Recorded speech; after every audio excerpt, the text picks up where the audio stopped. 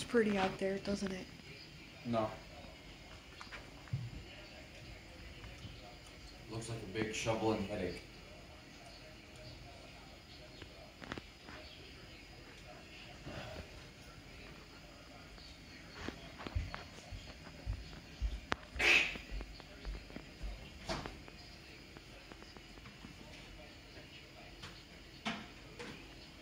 Joe White.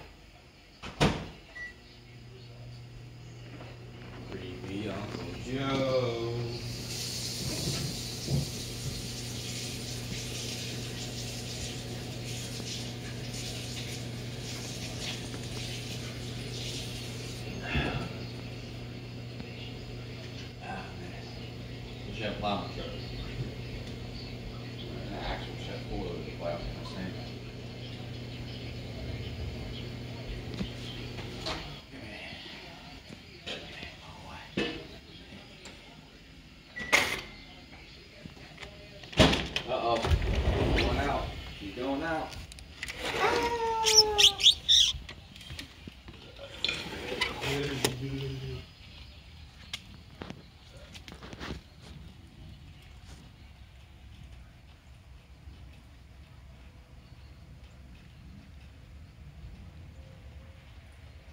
I'm dreaming of a white Hanukkah.